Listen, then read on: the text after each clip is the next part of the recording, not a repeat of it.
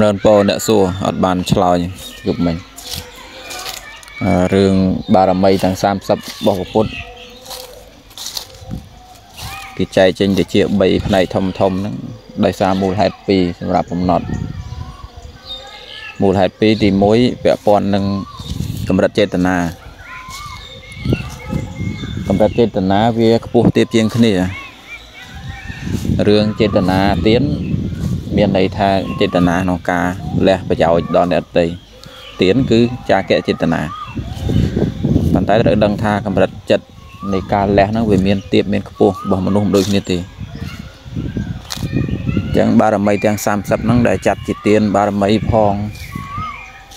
ចាត់ជាបារមីធម្មតាផងឧបបារមីបរមត្តបារមីផងដោយសារកម្រិតចេតនាខ្ពស់ទៀបជាងគ្នាឧទាហរណ៍ដូចទៀនអញ្ចឹង ប្រសិនបើការឲ្យណា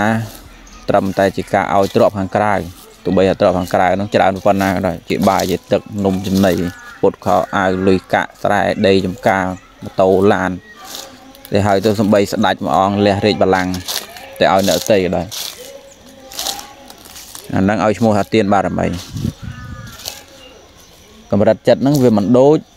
ឧបបារមីទេឧបបារមីគឺជាការឲ្យដែរប៉ុន្តែឲ្យ រហូតដល់អវយវៈដែលជាប់រាងកាយអាហ្នឹងគេ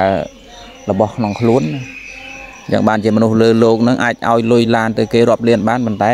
អាចឲ្យដៃជើងទៅគេបានទេព្រោះស្រឡាញ់ដៃជើងអវយវៈខ្លួនឯងខ្លាំងផុតប៉ុន្តែបើជនណាអាចឲ្យសំបីតែអវយវៈរបស់ខ្លួនដល់គេបានមានន័យថាទំហំចិត្តនៃការចង់ជួយគេហ្នឹងវាសម្បើមខ្លាំងណាស់ដូច្នេះការឲ្យពាក់ព័ន្ធនឹងអវយវៈខ្វេះភ្នែក ដើម្បីគេកាត់ដៃកាត់ជើងឲ្យឈាមឲ្យសាច់ដើម្បីជួយអ្នកដទៃអានឹងឲ្យឈ្មោះថាឧបបារមីទានរួមទាំងប្រពន្ធកូនផងប្រពន្ធកូនចាត់ទុកជាអវយវៈខាងក្នុងដែរពោះស្រឡាញ់ខ្លាំងស្មាងដៃជើងប្រពន្ធកូនឲ្យសាច់ឲ្យឈាមដើម្បីអ្នកដទៃឲ្យឈ្មោះថាឧបបារមី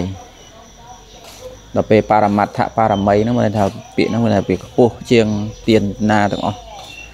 នេះសំដៅយកការឲ្យជីវិតដើម្បីអ្នកដទៃសុចិត្តងាប់ក៏បានដែរយកជីវិតជាដើមទុនដើម្បីជួយគេណាហើយសម័យមើលតើមានសត្វលោកម៉ានអ្នកដែលអាចធ្វើទាននឹងបានម្រណាស់សំបីតឧបបារមីនឹងក៏ពិបាកផងដូច្នេះបានជាទាននឹងត្រូវចែកចេញជា30បារមីផ្សេងផ្សេងក៏តាមនឹងដែរ3កម្រិត មានធម្មតា មានឧបបារមី មានបរមត្តបារមីដែលវាខុសគ្នាខុសក្នុងកម្រិតចេតនានឹងទី1ដល់ពេលទី2ងាយទេគឺខុសគ្នាក្នុងសកម្មភាពដោយបានរៀបរាប់មកអញ្ចឹងទានបារមីទោះបីធ្វើសម្បើមប៉ុណ្ណាក៏ដោយវានៅតែជាការឲ្យវត្ថុក្រៅកាយឲ្យរីកបលាំងក៏ដោយឲ្យមាសឲ្យប្រាក់វល់លៀងក៏ដោយដល់ពេលឧបបារមីហ្នឹងគឺចំណែកនៃអវយវៈប្រពន្ធកូនដែលចាត់ទុកថាវត្ថុឆ្លាញ់ផុតនឹងក៏អាចធ្វើបាន ដល់ពេលឧបបារមីហ្នឹងគឺបដូរដល់ជីវិតហ្មងដូច្នេះយើងសរុបថាបារមី30របស់ពុទ្ធហ្នឹងយើងរាប់ចេញជា30គឺយើងយក10ទៅគុណជាមួយនឹងកម្រិត3ហ្នឹងចេញ30 3ថ្នាក់ហ្នឹងដែលវាខុសគ្នាខុសគ្នានឹងសកម្មភាពនៃការធ្វើមួយខុសគ្នានឹងកម្រិតចេតនា2អញ្ចឹងបានថា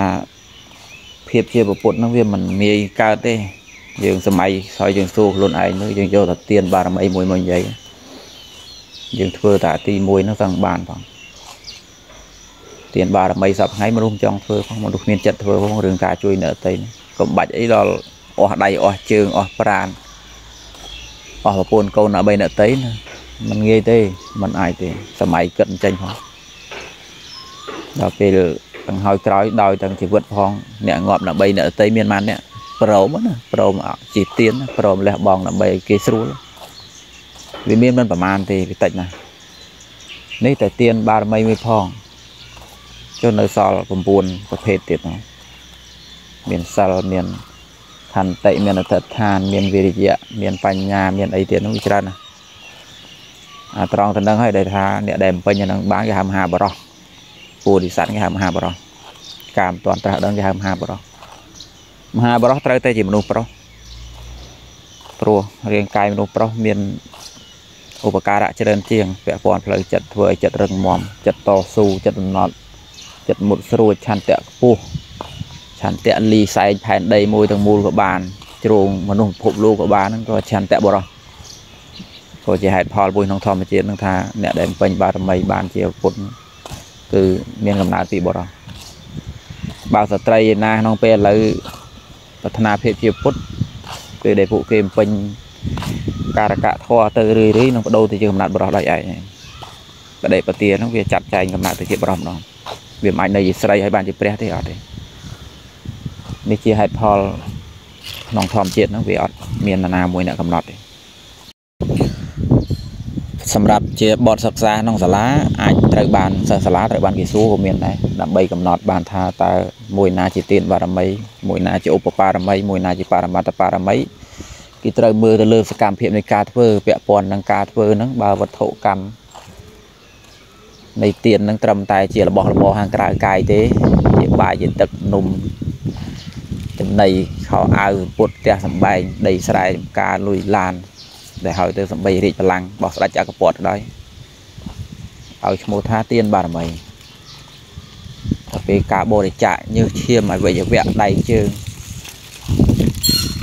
ហើយនឹងប្រពន្ធកូន13អ្នកតីហ្នឹងអាហ្នឹងឲ្យឈ្មោះថាឧបបារមីនៃការយកជីវិតសម្រាប់បដូរឲ្យក្តីសុខអ្នកដតីហ្នឹងឲ្យឈ្មោះថាបរមត្តបារមី គឺគេកំណត់អញ្ចឹងគេមើលទៅលើសកម្មភាពហើយគេមើលទៅលើកម្រិតចេតនាទៀតដូចបានប្រៀបធៀបស្ដាប់ហ្នឹងមនុស្សខ្លះទោះបីជាឲ្យលុយឡានដីស្រែម្ការចែកទៀនដល់គេវល់លៀនក៏របស់ទាំងអស់ហ្នឹងมันឆ្លាញ់ស្មើនឹងដៃជើងរបស់ខ្លួនมันអាចឲ្យដៃជើងទៅខ្លួនបានវាអញ្ចឹងអញ្ចឹងបានថាការដែលមានចិត្តឲ្យដៃជើងអវយវៈដល់គេបានមិនន័យថាការគិតគេនឹងវាធំណាស់មិនមែនមិនឆ្លាញ់កាយឆ្លាញ់ដែរប៉ុន្តែចិត្ត ឈឺឆ្អាលឬចិត្តជួយនឹងវាធំជាងអាក្តីឆ្លាញ់នឹងគុណទ្វេដង បានជាធ្វើកើតហើយគុំទានតាមពិតខ្មែរយើងគាត់វិនិច្ឆ័យខ្លឹមសារធម៌ទៅតាមរយៈវចនានុក្រមមានន័យថាគាត់យកពាក្យប្រែជាគោលជួនកាលទៅបើកវចនានុក្រមមើលទៅឃើញខ្លឹមសារពាក្យនឹងស្តៀងស្តៀងនេះក៏សន្និដ្ឋានសេចក្តីតាមនោះទៅការវិនិច្ឆ័យត្រឹមត្រូវក្នុងមេរៀនព្រះលុះតែស្គាល់អង្គធម៌របស់វា ដោយប្រាថ្នាអញ្ចឹងប្រាថ្នាធាតពិតរបស់វាគឺជាតួចិត្តបាបទេការជាប់ទៅក្នុងអីមួយណាការចង់បានស្អីមួយជាការប្រមូលចូលក្នុងចិត្តដែលចង់បានស្អីមួយទាញចូលមកឧទាហរណ៍ថាបើចិត្តនឹងមានរូបរាងវិញដូចដៃយើងទៅឈោងចាប់អីចឹងណាចិត្តដែលត្រង់ស្វាយកស្អីមួយចូលមកហើយជពាក់ក្នុងវាគេថាប្រាថ្នាមិនថាប្រាថ្នាក៏ដោយប្រាថ្នាជាតួលោភៈទេ ចំណែកអធិដ្ឋានឧទាហរណ៍ដូចក្នុងអធិដ្ឋានបារមីណាការអធិដ្ឋានបារមីហ្នឹងមានន័យថាការតាំងចិត្តការរំកល់ឆន្ទៈដោយប្រុងធ្វើស្អីមួយដែលវាជាប្រយោជន៍ឧទាហរណ៍ដោយការតាំងចិត្តជួយគេអញ្ចឹងវាជាបៃកុសលនៅធម្មតាយើងជួយគេវាទៀមទាមានដើមទុនក្នុងការជួយវាយើងដៃទៅទេដែរយើងទៅជួយណាកើតដូច្នេះមានពេលខ្លះមិនមែនតន់តាំងចិត្តជួយគេទេ ប៉ុន្តែតាំងចិត្តបំពេញនៅស្អីដែលជាដើមទុននោះដើម្បីជួយគេមិនចឹងដូចប្រពុតចឹងត្រូវការជួយសត្វលោកត្រូវតែប្រើពោធិញ្ញាណមិនមែនខ្លួនឯងមិនទាន់ត្រាស់ដឹងជួយគេបានណាដូច្នេះព្រះអង្គដឹងខ្លួនណាដឹងខ្លួនថាត្រូវធ្វើស្អីការតម្កល់ចិត្តថាអញត្រូវបំពេញអា10ហ្នឹងឲ្យបានការតាំងចិត្តធ្វើឲ្យបដូរបដាច់ក្នុងបេសកកម្មវីរកម្ម របស់មហាបរោះការអធិដ្ឋានបើយើងនិយាយក្នុងកតិសង្គមខ្មែរឧទាហរណ៍យើងចង់ជួយជាតិអញ្ចឹងតើត្រូវធ្វើស្អីខ្លះអធិដ្ឋានធ្វើការងារស្អីគេតម្កល់ជីវិតយ៉ាងម៉េចអាហ្នឹងថាអធិដ្ឋានអធិដ្ឋានវាស្ថិតនៅក្នុងផ្នែកវិជ្ជមានទេហើយតួចិត្តដែលយើងជាប់ក្នុងវត្ថុកម្មនានាតែរៀងរៀងខ្លួនរៀងរៀងអងតបតខ្លួននេះគេឲ្យឈ្មោះថាតាប្រាថ្នាមួយជាលោភៈធម៌ មួយជាកុសលឆន្ទៈវាមិនដូចគ្នាទេ តែដែលបានបញ្ជាក់ខាងលើអញ្ចឹងថាខ្មែរយើងវិនិច្ឆ័យខ្លឹមសារធម៌តាមរយៈការចាំពាក្យខ្មែរតាមរយៈវចនានុក្រមទៅបើវចនានុក្រមមើលបើថ្នាហ្នឹងគេប្រែថាម៉េចដល់ពេលទៅបើទៅឋានមើលទៅឋានជាប្រែទៅឋានវចនានុក្រមទូនីតិវចនានុក្រមធ្វើម៉េចតែបានពាក្យច្រើនទៅឋានតាំងចិត្តប្រាថ្នាចង់បានស្អីមួយចង់ដល់ស្អីមួយមើលមើលទៅអត់ដូចតែគ្នាខុសតែពាក្យអត់ដូចគ្នាទេខុសគ្នាមិនដី ឧទាហរណ៍លោកយាយលោកតាខ្លះគាត់ឃើញភាពអស្ចារ្យរបស់គេគាត់ចង់បានដូចគេដែរណាឬគេនិយាយពីប្អិនចង់ប្អិនទៅឬគេនិយាយពីព្រមអញចង់ព្រមគេទៅឬគេនិយាយពីដាច់ចក្រពត្តិចក្រពត្តិគេទៅណាចក្រពត្តិមកមិញហ្នឹងឯងឬគេថាណឯនោះស្រួលណងគេទៅអាហ្នឹងវាជាការគិតដល់ក្តីសុខរបស់ខ្លួនឲ្យចិត្តហ្នឹងវាចង់រត់ទៅតែរត់ទៅបានភ្លាមទៅបាត់ហើយ អញ្ចឹងចិត្តដែលវាផ្ទុះទៅតម្រង់ទៅស្អីដែលខ្លួនស្រឡាញ់ហ្នឹងដើម្បីខ្លួនជាប់ដើម្បីខ្លួនប៉ងដើម្បីខ្លួនសវាយនឹងវាហ្នឹងគេហៅតួប្រាថ្នាមិនមែន thực ឋានទេ thực ឋានអត់ចង់ទេនៅ thực ឋានហ្នឹងគឺការប្រាចក្ខុវិស័យសលឹងទៅគោលដៅមួយដកដងឧត្តមជាប្រភេទឧត្តមកតិជាប្រភេទឆន្ទៈនៃមហាបរោះជាវីរកម្មនៃជនអស្ចារ្យ ប្រភេទអញ្ចឹងហើយគេតាំងចិត្តធ្វើវា ជាការតដ្ឋានឧទាហរណ៍កលឥឡូវយើងនិយាយកតិសង្គមចុះកំដរព្រះអីយើងនិយាយកូនខ្មែរមួយរូបដែលឃើញស្រុកខ្លួនវាមិនស្រួលមានអយុត្តិធម៌ច្រើនគាត់តដ្ឋានចិត្តថាគាត់នឹងធ្វើកិច្ចការដើម្បីសង្គ្រោះមហាជនអានឹងជាការតដ្ឋានមួយឃើញវាដូចជាការប្រាថ្នាពីណាតដ្ឋានហ្នឹងបើយើងសេពគប់វាច្រើនរត់ទៅល្អវានាំយើងលិចលង់ទេតែប្រាថ្នាអត់ទេកាលណាយើងមានច្រើនយើងល្ងងទៅល្ងងទៅ យើងលិចលង់ទៅលិចលង់ទៅវាខុសគ្នា